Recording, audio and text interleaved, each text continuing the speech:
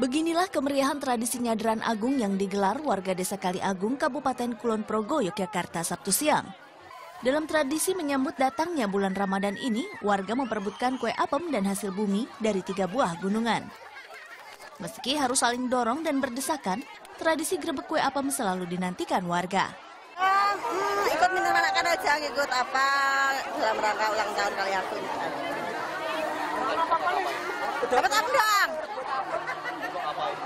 Ya? Untuk ketawakan?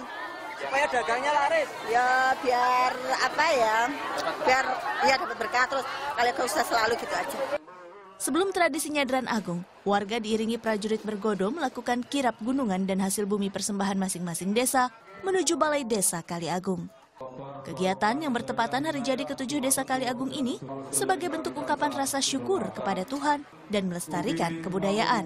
Ini untuk mengambil apem ini kan eh, apa ya budaya kita tuh dulu kalau eh, nyadran itu pakai apeman itu istilahnya. Nah ini kita lestarikan dengan membuat seribu apem yang nanti bisa diperbutkan kepada semua warga masyarakat yang hadir di Kali Agung ini.